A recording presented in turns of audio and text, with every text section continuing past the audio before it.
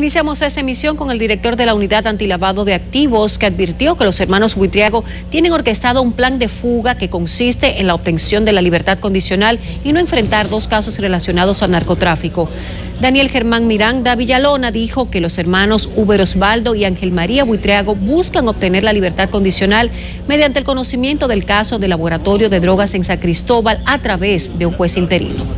Pero ese no es un caso para conocerlo, un juez interino de una hora a hora o de un día para otro, porque eso tiene una complejidad nacional e internacional. ¿Un plan para ellos salir del país? Sí, o sea, lograr que ahora lo pongan en libertad por San Cristóbal, como están en libertad por fianza, por el caso de la caleta, es un paso a la, a la, fuga de ellos. Y entonces, eh, reactivar su plan original que ellos tenían de eh, ausentarse y ser fugitivo Villalona dijo que objetarán que un juez interino conozca la revisión de libertad de los hermanos Buitrago.